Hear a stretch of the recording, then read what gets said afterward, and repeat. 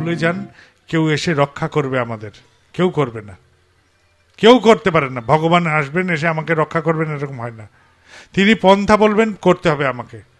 যদি ভাবেন যে বাবাইদা বলে কেউ আসবে, হাত ছুঁয়ে দেবে, মাথা ছুঁয়ে দেবে, তাতে মঙ্গল হবে কাঁচকল হবে যদি তাই হতো, তাহলে আমার ছেলেরকে মাথায় হাত ধুইলে আমার ছেলের ডাক্তার লাগতো না। ডাক্তার বুদ্ধি তাকে করতে হয়।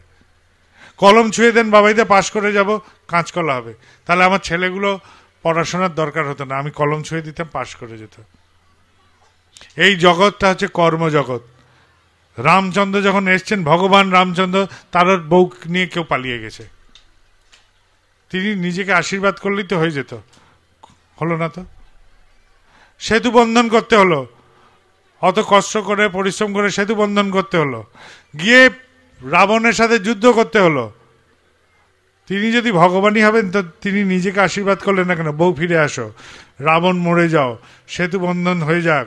সবই তো নিজেকে আশীর্বাদ করতে পারতেন। তাহলে ভগবানেরও এখানে আশীর্বাদ কাজ হয় না। কারণ এটা কর্মজগৎ। এইখানে যে আসবে, এই কর্মজগতে তাকে কর্ম করতেই হবে। আর তিনি কর্ম করেই দেখিয়েছেন। তিনি আমার হাতে পাখা ধরিয়ে দিয়ে বলবেন, হাত নাড়া। আর আমি যদি পাখাটা ধরে থাকি, তবে কি হাওয়া খাব? এটাই হচ্ছে কথা। হাত না নড়ালে এই পাখার হাওয়াও খাওয়া যায় না। এই জগৎ এরকমই দস্তুর।